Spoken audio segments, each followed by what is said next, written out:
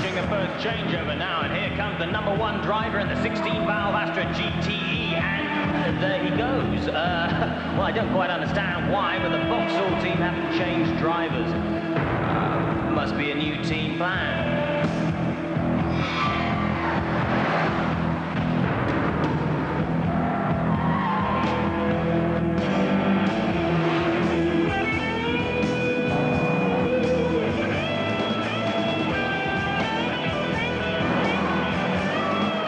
1989 Astras from Vauxhall.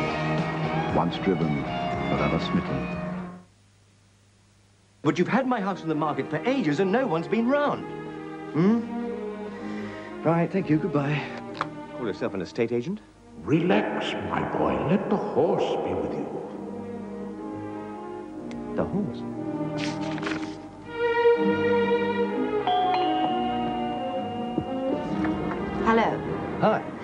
The Black Horse estate agent gave me your details. Oh, yes, right. Come in. Now, this is the uh, living room. This is a bedroom. Oh, really? Coffee? No, thank you. Good, I'll take it. Subject to finding the right mortgage quickly. Oh. Remember, let the horse be with you. Have you tried the horse? Sorry. Lloyd's Bank, I mean. That's who I've always used. They've got a whole range of mortgages. Really? You can even fix the level of your repayments. Right, I'll get onto Lloyd's Bank. Great. Bye. I did it. Who did it? All right, it was the horse. You have to take the credit for everything, don't you? Mortgages from Lloyd's Bank, the thoroughbred bank.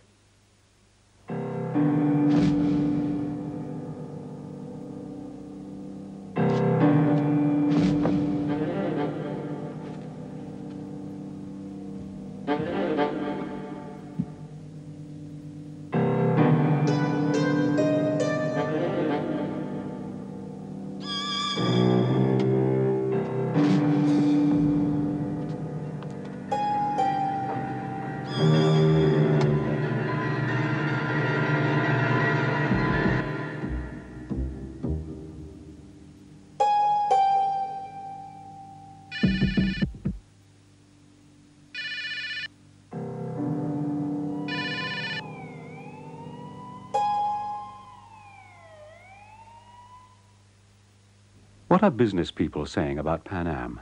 Uh, I've taken the Atlantic crossings over a thousand times with Pan Am. The food was good.